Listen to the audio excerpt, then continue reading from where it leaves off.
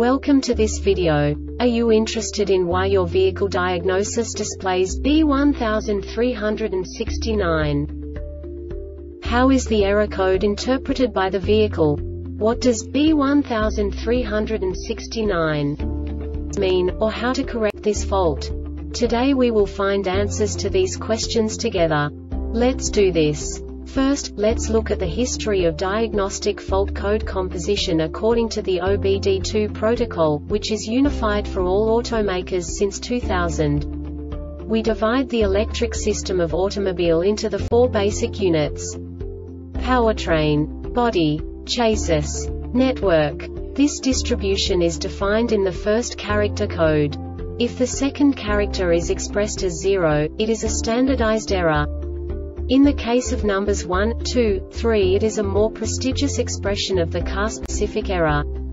The third character specifies a subset of errors.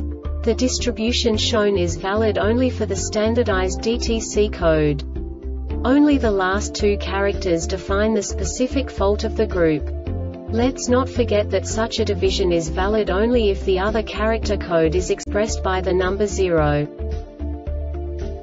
Our website airbagreset.sk produces useful videos for you. You do not have to go through the OBD2 protocol anymore to know how to troubleshoot any car breakdown. You will find all the diagnostic codes that can be diagnosed in a Hyundai vehicles. Also many other useful things.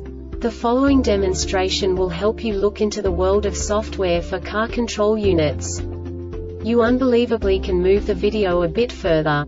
The error code is split into two bytes consisting of 16 bits. One bit is the basic unit that each computer works with. The bit has two logical states. 0, low level, 1, high level. By combining the first two bits, the basic character of the error code is expressed. The next two bits again determine the second character. The last beat styles of the first byte define the third character of the code.